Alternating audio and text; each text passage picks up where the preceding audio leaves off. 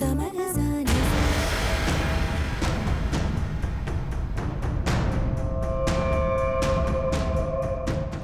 അവക്കൊരു ജോലി വാങ്ങിക്കൊടുക്കാൻ പോയതാ.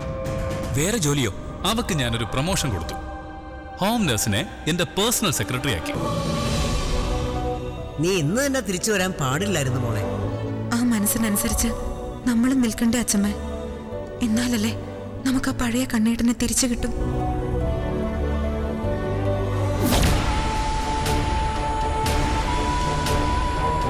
മാരീഡ് ആയ ഒരു പ്രൈവറ്റ് സെക്രട്ടറിയെ ഏട്ടന് വേണോ?